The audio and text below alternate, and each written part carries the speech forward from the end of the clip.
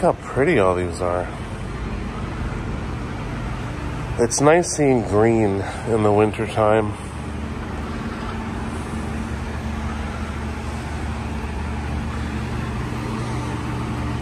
Those are so pretty. Anyway, um, why am I here at the garden center and Home Depot? Well, I have a mouse in my kitchen.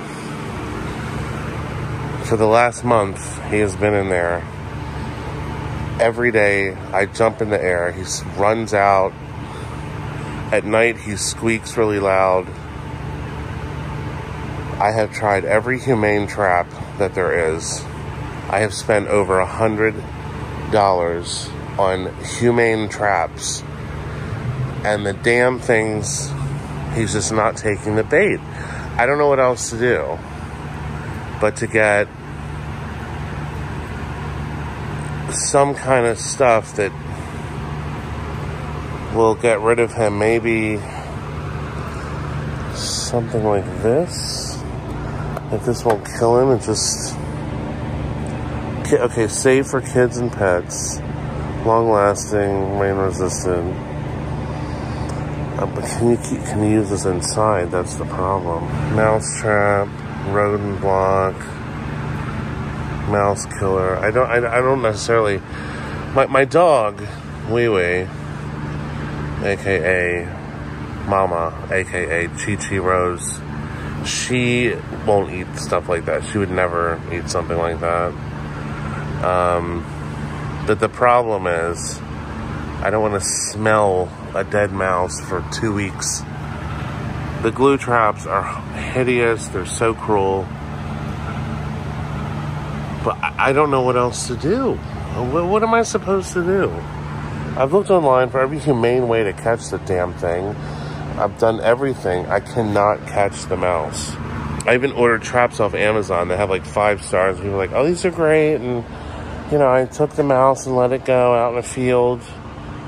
It's like winter time. The mouse is not going to survive if I take it out to a field. It's going to die. So he has pooped all over my house. I am const- I vacuum twice a day. I have to mop the floors because he's the pee that he he urinates on the floor. It stinks. It smells like fishy. It's like this fishy smell. Snake away. The fuck are we in Arizona? I think the only way I'm going to be able to do this is uh,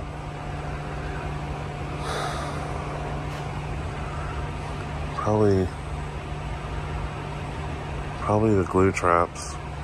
I hate to do it though but he's got to go. All right, so I'm going to go this route first, which is the rodent repellent. It is non toxic, safe for plants, people, and pets. And there are definitely a lot of droppings back here. I cleaned it. I, I well, I'm to do a little mop on it. But um, clean that up too. But look at all the gross grease and stuff that's fallen down there through the years. So I'm gonna clean that up and then apply this stuff, which smells really nice. It has, uh, I can smell peppermint in it. It smells wonderful. Oh, I hope this works.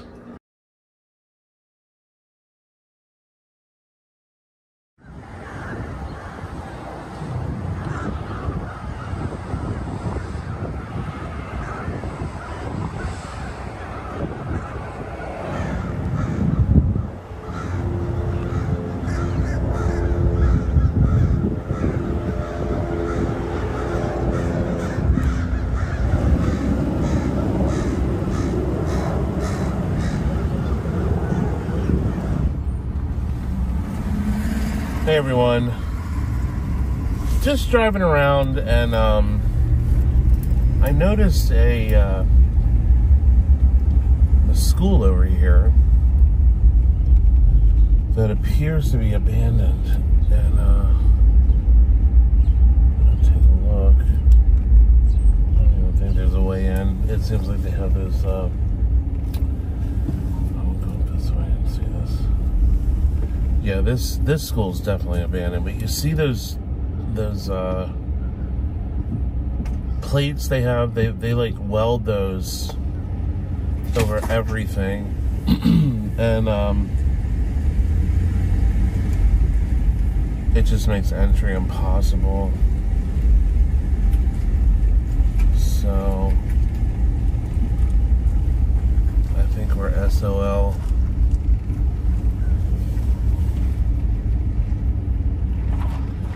Dogs.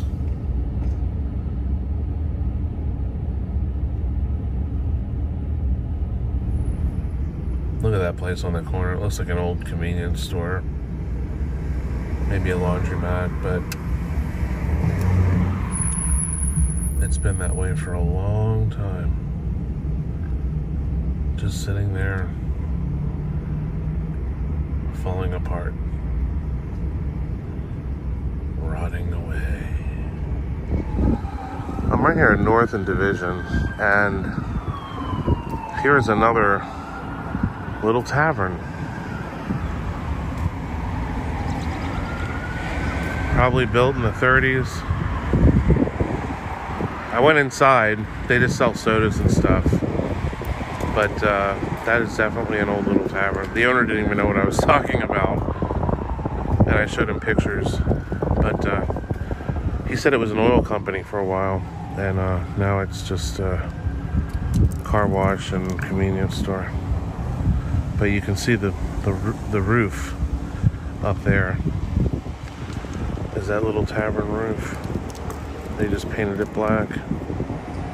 See this building right here?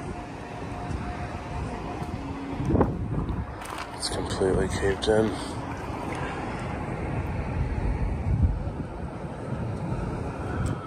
Looks like. Oh damn. It looks like people are like going in there to to get high.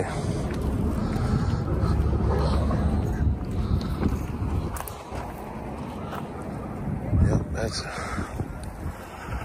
oh this is horrible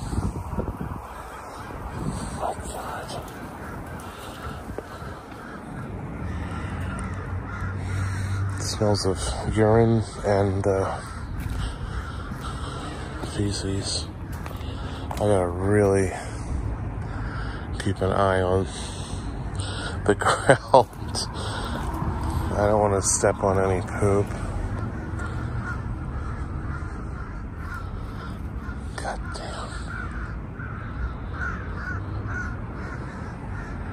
Looks like that house there might be occupied, but these other places. Oh my god, look at how creepy that is. There's needles everywhere.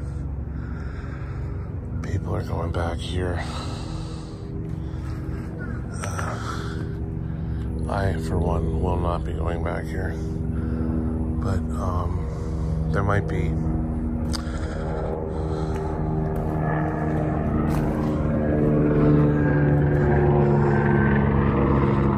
maybe an entryway.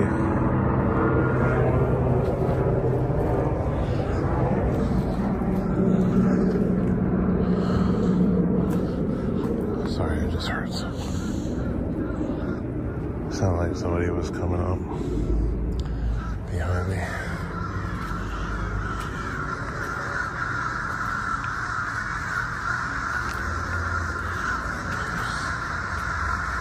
What's going on?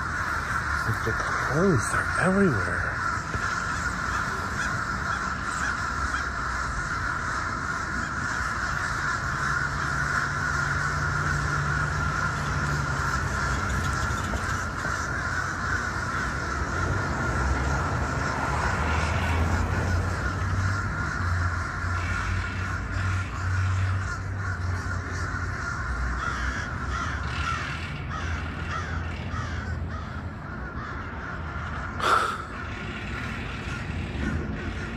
That's pretty cool, isn't it?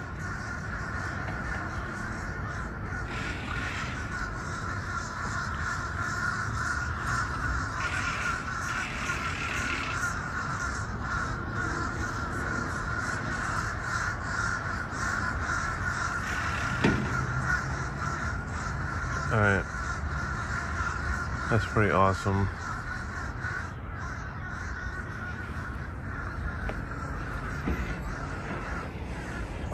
Needles all over the place. Can you imagine, like, you're a drug addict, and this is where you come to get high? Like, oh, let's go behind that. I mean, th this is this is being used to, for bathroom breaks and getting high.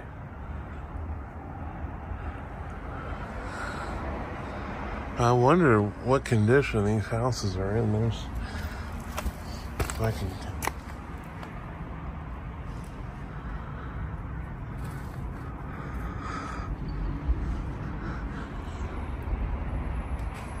Dude, I keep hearing fucking.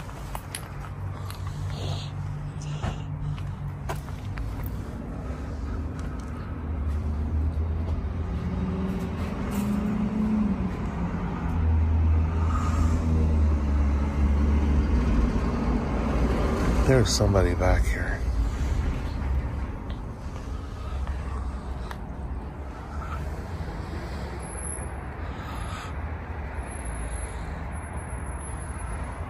I don't, I think it's somebody in one of the houses.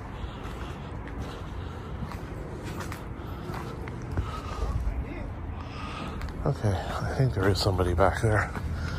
I'm just gonna get out of here.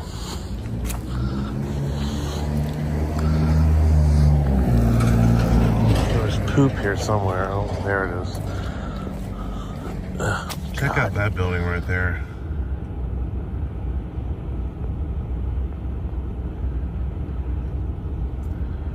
What could it have been? A movie theater? I don't know about that. I just don't know. But very Art Deco. This part right here, at least. That Art Deco design. Here's another depressing looking dumping spot. You can see over here. I guess that was the op the you know the cleanup uh, attempt. They just throw everything in there, but yeah, people are dumping. That's all drywall. People are dumping shit everywhere. I think I can make it up this alleyway here. Go up here and see. Boy, that's that like really bleak looking. Oh my god. Man, this is unreal.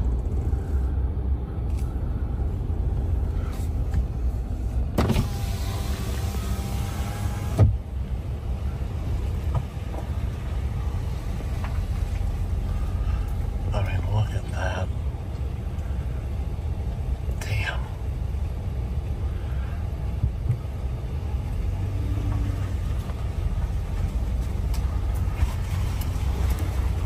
Oh my god.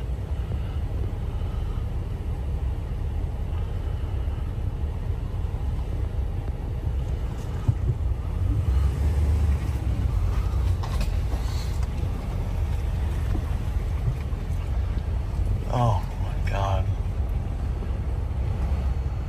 Hey Pooch. Clean yard. Well, kind of clean, but. Shit, I hate driving over this shit. Uh, Excuse me. Jesus, is that one? I'm gonna go park and walk in here. Get a better view.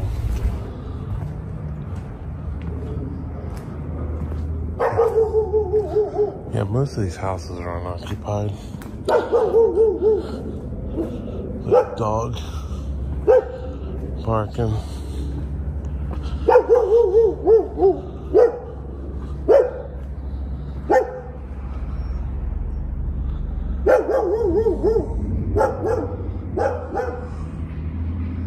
All this shit, Jesus.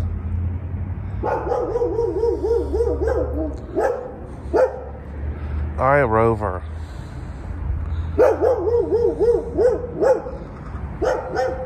Damn.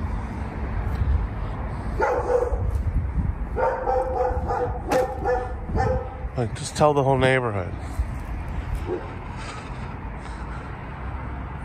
So the, the, most of these places are abandoned. There's a couple houses left on this block, but it's weird because when you're out front, um, it looks like the houses are kind of okay, but back here they're definitely not. This is probably occupied here. I got a lock on the gate.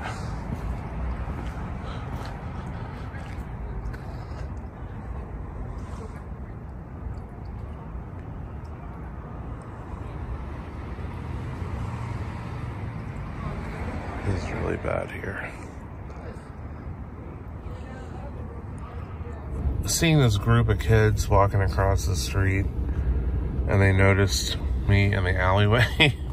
and that's why I stopped the recording because I didn't want to, um, I didn't want them to see me, uh, with the phone and the flashlight. So I just stopped. Um, but they didn't do anything. They were fine. The kids around, the, when I see the kids, they worry me more than uh, the adults do. There's an abandoned house here somewhere.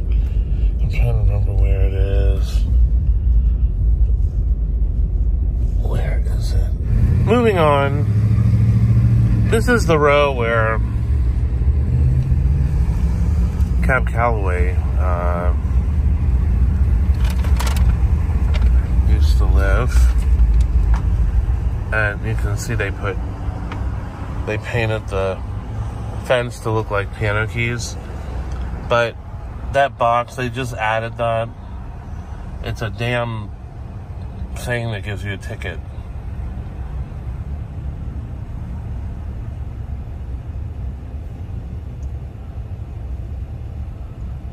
So now when you drive past here, it, I guess it's the Cab Calloway um, ticket speed camera. But, I mean, and they're going to name the park Cab Calloway Park. They should have saved the house. If you go look back on the Film It channel, you can see the videos um, where I went to the Cab Calloway property and ripped the door open so the relatives could go in and see the inside of it. This is the old orphanage opened up in the, I believe the 1800s. And they've been doing work on it. Uh, I guess to stabilize the inside. They had a, they had, they had all this fenced off here and a dumpster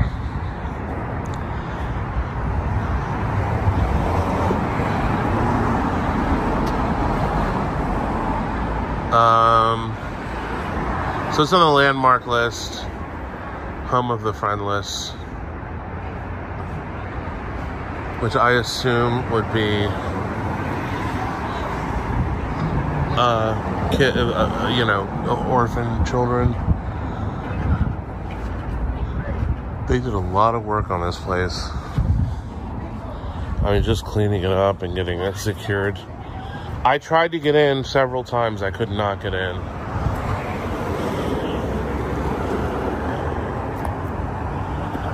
There, was a window. I think it was that window in the center there that I tried to climb through. Um, but there was just glass everywhere.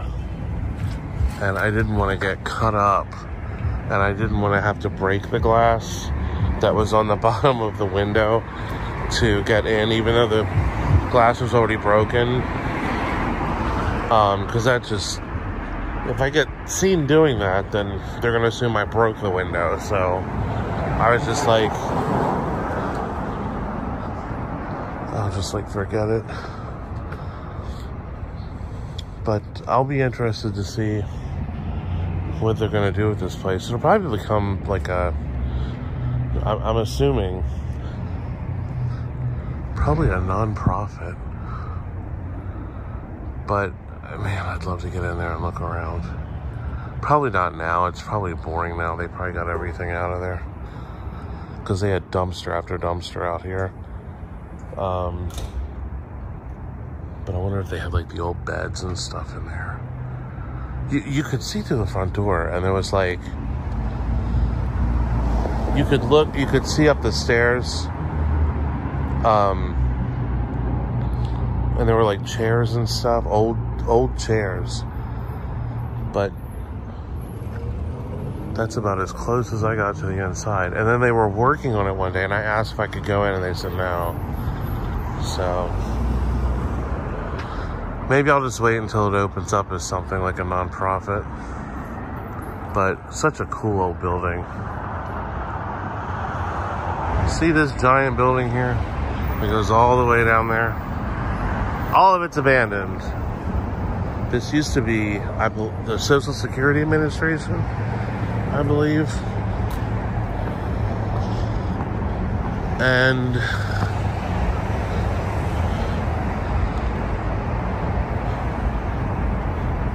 people have uh, obviously gotten in, but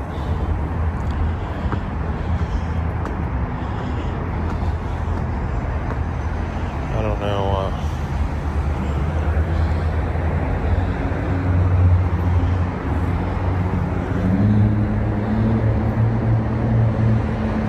oh God! Fucking rat! Look at it. Jesus, it's huge. Yeah, and all the lights are on and everything inside.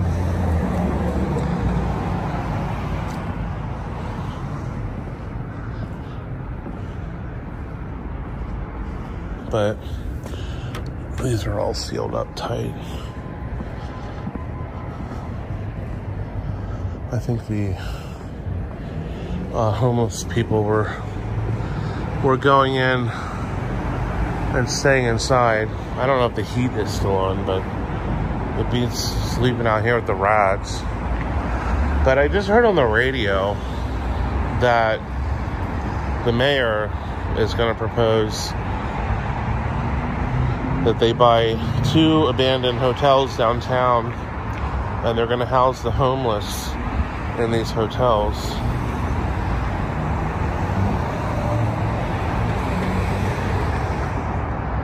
We'll see if that happens or if that works. Seems like it's going to be problematic, but we'll see.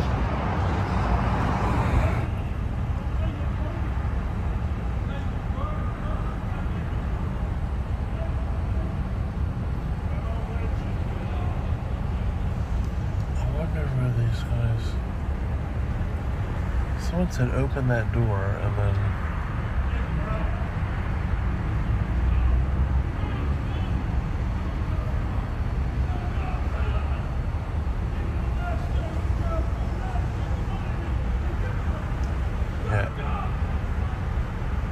as I said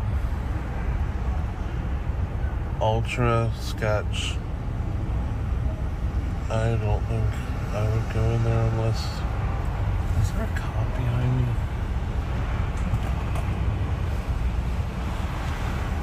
I don't think I would go in there uh, without some protection and perhaps a couple of people with me. We'll see if it happens someday. I don't know. I want to make it happen, but we'll see. God, what is going on? So many cars. Oh, oh. I think that's because it's Valentine's Day. Everybody's going out to dinner. Me, on the other hand, I'm out filming Squalor and all the no one to love.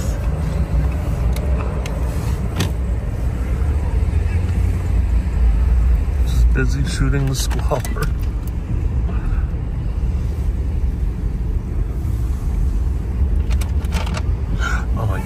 Is a man laying right there I didn't even see him. I thought it was trash.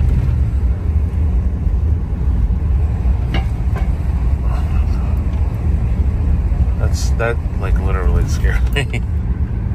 Here we are. This is the the old bank uh, and healthcare for the homeless building, but I think it looks like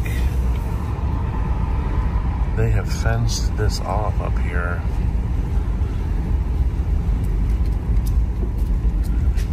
They have.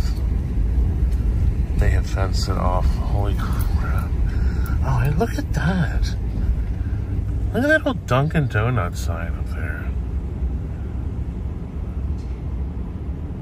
I mean, that has got to be, like, old.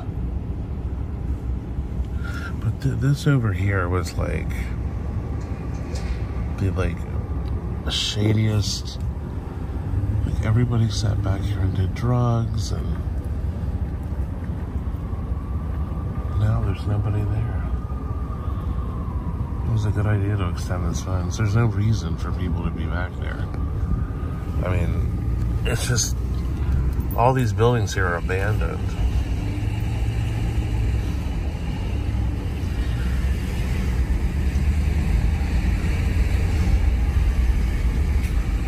But it looks like the it looks like the shady dealings uh, that used to occur down there pretty much over. And that fence has a lot to do with it because the those guys they were all watchouts, lookouts. They all of them like had cell phones and if you were back there they'd call somebody and then a car would come and it was real shady. But I you know those guys aren't even there. All these stores are open. Right, oh, because it's, oh my goodness. All the stores are open because it's freaking Valentine's Day. These are all normally closed this time of night. So I think we're gonna finish this round of Film It in the beautiful Mount Vernon neighborhood. This is the square right here. And that is the Washington Monument. erected a very long time ago in the 1800s. Um, but this neighborhood's beautiful here. Nice. I mean, I've lived here most of my adult life. I've lived in this neighborhood. What do you guys think about me doing a video like of nice places in Baltimore? Should I should I deviate and go to some of the nice places like the nice neighborhoods and stuff like that? Let me know in the comments below if you've gotten this far in the video, uh, then you'll be able to uh, answer my query. But let me know. Love you guys very much. Join me on Patreon. Patreon.com slash this is Dan Bell. See you soon.